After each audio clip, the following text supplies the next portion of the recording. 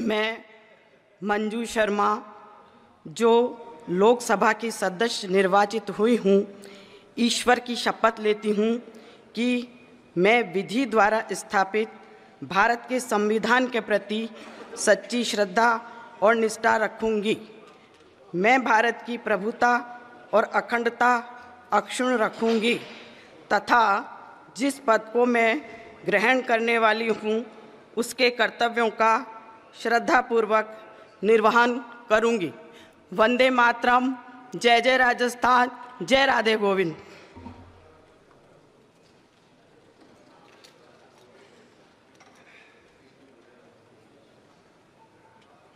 Shrimati Sanjana Jatav.